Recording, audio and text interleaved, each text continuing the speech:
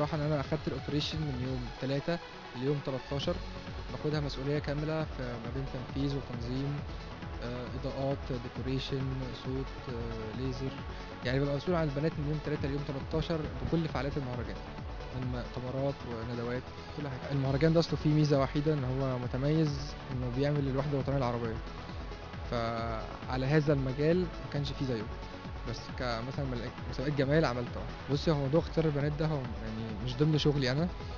آه، إن أنا شغلي بيعتبر من يوم ما البنات جت إن إحنا المشكلة اللي كنا بنقابلها الرئيسية أو التحدي مش المشكلة إن إحنا بنجمع ال 20 عقلية مختلفة من 20 دولة مختلفة بتقاليد مختلفة بنحاول نخليهم يعملوا جروب يعني يبقوا كلهم مع بعض متعاملين ومتكافئين بحيث يطلعوا نتيجة كويسة تشرف كل بلد من دول.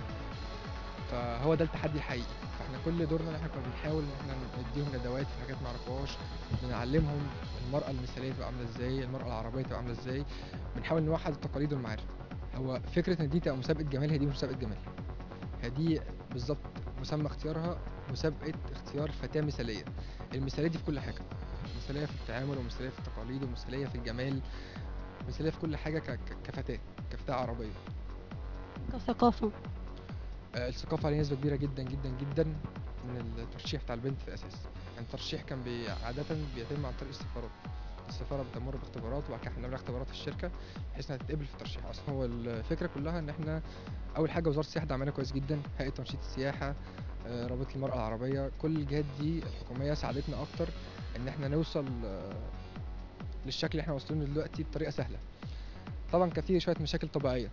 يعني باختلاف العادات والتقاليد زي ما قلت لحضرتك قبل كده آه، وباختلاف عقليات كل واحدة منهم وبرضه ما ننساش إن مستواهم صغير أكترهم ما عدوش ال 21 فده برضه بيخلي الموضوع صعب في التعامل كبني آدمين.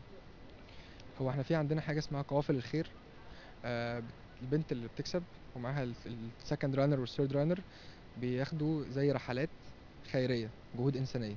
بيسافروا مثلا زي الأردن وفلسطين يدعموا حاجات إنسانية مثلا أطفال فلسطين الحاجات دي.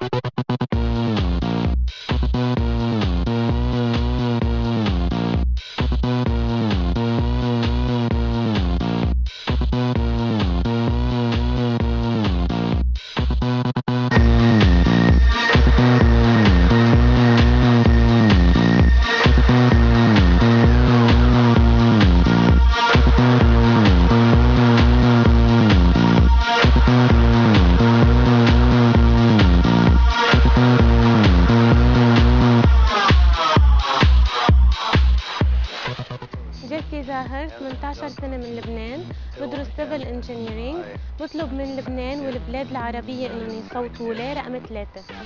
Hi أنا ابتهال من العراق من البصرة عمري 25 سنة رقم تصويتي هو رقم أربعة وإن شاء الله تصوتوا لي وإذا ما صوتوا لي راح أخسر. اسمي ندى آه، من ليبيا طرابلس آه، عمري 22 سنة آه، دراسة بجامعة الفتح كلية العلوم الطبية رقمي 15 لو تبوني نرجع لليبيا رافعة راس الليبيين ون- ونكون الفتاة المثالية آه، طبعا باسم آه، ليبيا كلها صوتوا لي. أنا مناعر سالمين من الكويت عمري 19 سنة وأدرس الهندسة في البترول في الكلية الأسترالية في الكويت.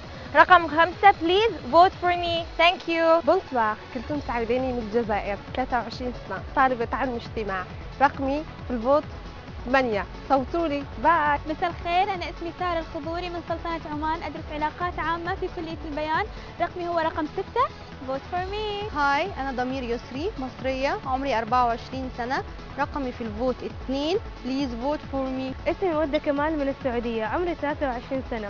آه بدرس interior design رقمي 12 عسلامة معكم. إنجي من تونس. عندي 22 سنة. خريجة computer science نمرو يا نمرو سبعة. please vote for me السلام عليكم اسمي نغم علي من اليمن عمري 20 سنة بدرس تجارة بالقاهرة. رقمي 16 please صوتوا لي. please أهل بلدي كل بيحبوني صوتوا لي. مرحبا أنا ليلى علي من الصومال سني 22 سنة. آه، بدرس علم نفس السنة الثانية. رقم vote تبعي 11 شيرين براش من فلسطين 21 سنة. خريجة اقتصاد وتجارة خارجية رقمي تسعة please صوتولي مرحبا وحبابكم عشرة أنا رفيدة ياسين آه، عمري 22 سنة درست آداب قسم الفلسفة جامعة عين شمس بشتغل صحفية آه، رقمي 13 آه، صوتوا لي إذا بستاهل عليا كيلاني من الأردن عمري 22 سنة خريجة management information system رقمي واحد بالتصويت please صوتولي شكرا. hi أنا رنا من سوريا عمري 23 سنة. بكلية الفنون الجميلة رقمي 10 بليز صوتوا مساء الخير. أنا يسرى من المغرب عندي 19 سنة.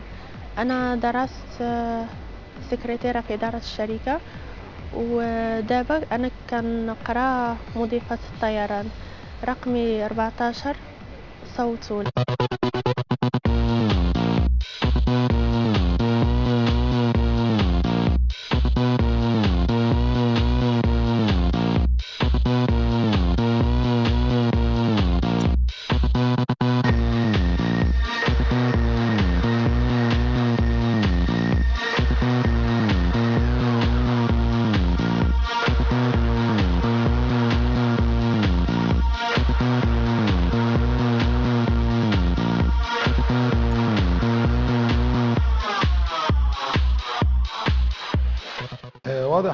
بنتين مكتسحين الباقي. وفرق درجات عالي جدا بينهم وبين بقية المجموعة. البنتين دول آه، مش مشكلة مين المهم إن هم في بنتين مغطين على الباقي جامد.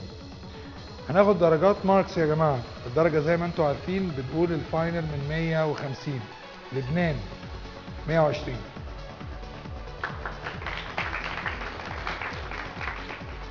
العراق 112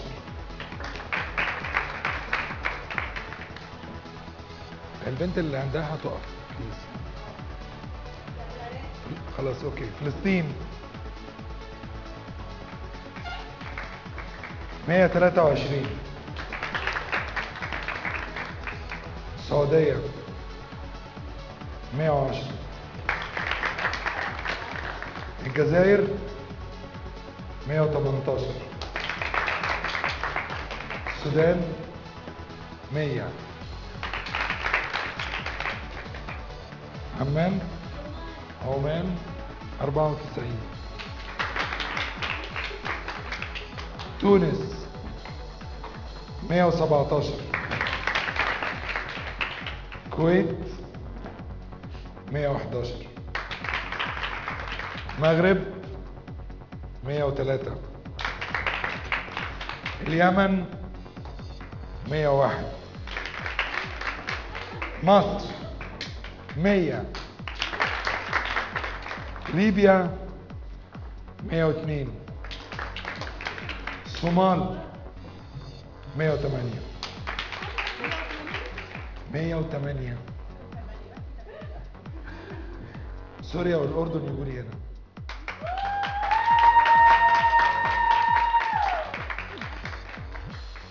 يا جماعة سوريا 141 الأردن توب رانك 146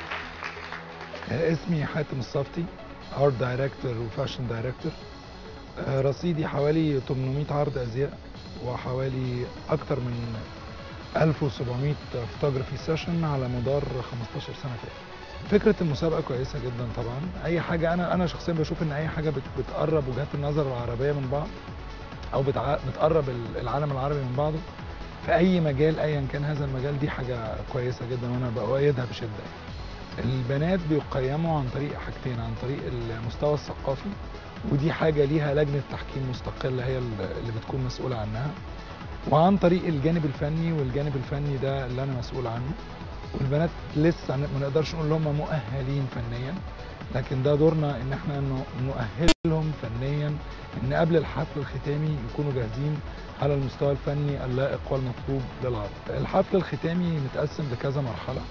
عندنا اوبريت في الأول عن التضامن والوحدة العربية. بتعمل بمجموعة فساتين بيضاء معمولة على شكل حمامة السلام. وبعد كده عندنا عرض تاني بالأزياء الوطنية الزي الوطني لكل دولة عربية. وعندنا بعد كده عرض الختامي اللي هو بال haute couture أو بالملابس السواريه ملابس السهرة. وده اللي هيتم بناء فيه نقط على كل item هيتلبس يعني وعلى اطلاعات على المسرح وعلى مجموعة أسئلة هتتسأل للبنات. وبتتجمع النقط في الآخر وبناء عليه بيتم اختيار آه، ملكه جمال العرب دوري أنا مسؤول عن كل ما يتعلق بالجانب الفني للمسابقة. اختيار الموسيقى اللي هتتعمل في العرض. تحديد آه، كميات الإضاءة اللي بتبقى معدة للمسرح طول المسرح اللي هيت... البنات هيستخدموه طلعات ودخلات البنات على المسرح التوقيت وال timing لخروج ودخول كل فقرة من فقرات الحفل النهائي ودوري كمان تدريب البنات وتأهيلهم لأداء الحفل الختامي ودوري كمان ك general coordinator أو منسق عام لكل الأطراف المشاركة في الموضوع.